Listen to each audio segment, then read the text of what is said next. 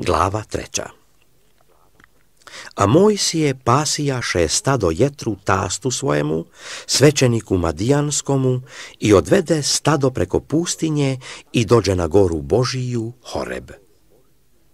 I javi mu se anđeo gospodnji u plamenu ognjenom iz kupine. I pogleda, a to kupina ognjem gori, a ne sagorjeva.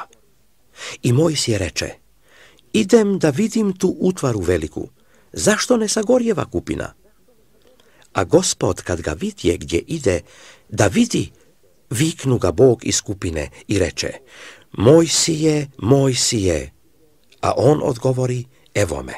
A Bog reče, ne idi ovamo, izuj obuču svoju snogu svojih, jer je mjesto gdje stojiš sveta zemlja. Još reče, ja sam Bog oca tvojega, Bog Abrahamov, Bog Izakov i Bog Jakovljev. A Mojsije zakloni lice svoje, jer ga strah bijaše gledati u Boga.